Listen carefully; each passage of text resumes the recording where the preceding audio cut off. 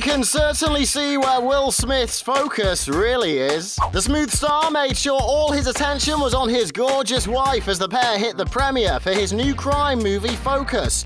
But despite Will's red carpet PDA with Jada, everyone else's focus was firmly on his co star Margot Robbie, who wows the crowd in a sexy sheer black gown. The Aussie Wolf of Wall Street actress looked stunning in the elegant yet edgy number that featured a big white ruffle on her chest and showed off her underwear.